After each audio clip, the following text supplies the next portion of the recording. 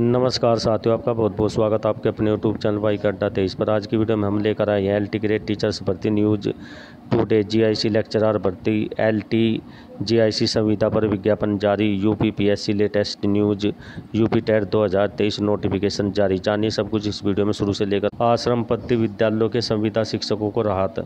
जनजाति विकास विभाग के आश्रम पत्ति विद्यालय में कार्यरत संविदा शिक्षकों को जल्द मिलेगी राहत। लंबित मांगों को लेकर समाज कल्याण विभाग के प्रमुख सचिव डॉक्टर हरिओम, राज्य कर्मचारी संयुक्त परिषद के अध्यक्ष जयंत तिवारी के सकारात्मक वार्ता हुई। इसमें शिक्षकों की समस्याओं को जल्द समाधान पर सहमति बनी है। संयुक्त परिषद की सचिव अरुणा शुक्ला ने बताया कि प्रमुख सचिव ने स्पष्ट किया कि किसी भी शिक्षक को बिना अवसर दिए निकाला नहीं जाएगा।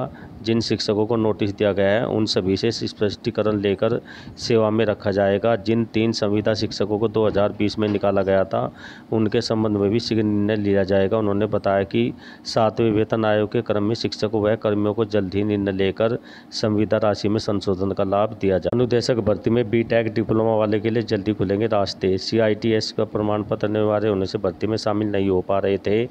अभ्यर्थी सेवा नियमावली में संशोधन के लिए कमेटी गठित होने से अभ्यर्थियों में उम्मीद जगने लगी है। आईआईटी अनुदेशक भर्ती में सी टी एस प्रमाण पत्र का पैंच जल्द ही दूर हो जा सकेगा। सेवा नियमावली संशोधन के लिए सरकार ने कमेटी गठित कर दी है।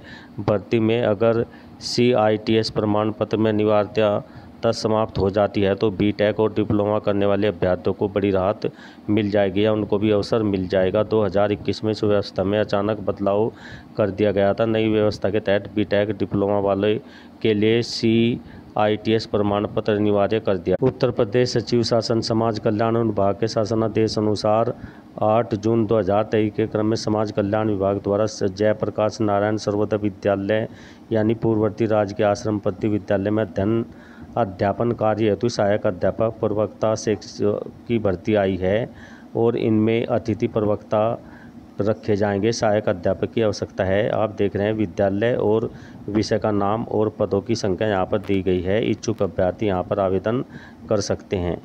ये संविधा पर रखे जाएँगे अध्यापक और इनके अध्यापक हेतु 300 प्रति पीरियड अतिथि प्रवक्ता के लिए दिए जाएँगे। और प्रवक्ता हेतु 320 प्रति पीरियड की दर से भुगतान किया जाएगा। जो भी इच्छुक अभ्यर्थी है, यहाँ पर आवेदन कर सकता है। 25 अगस्त 25 सितंबर तक, सॉरी 25 सितंबर तक अपने फॉर्म भर के यहाँ कार्यालय में जमा। ब्लैक लिस्टेड कंपनी से कराई परीक्षा, फिर निकला मनमाफी परिणाम। परीक्षा में लोक सेवा आयोग या सचिवालय सेवा के भर्ती नियमों का पालन नहीं हुआ। विधान परिषद में भर्ती के लिए ब्लैक लिस्टेड कंपनी के ज़रिए परीक्षा कराई गई। फिर ऑनलाइन परीक्षा में मनमाफिक परिणाम निकालकर भर्ती की देवरिया बांटी गई।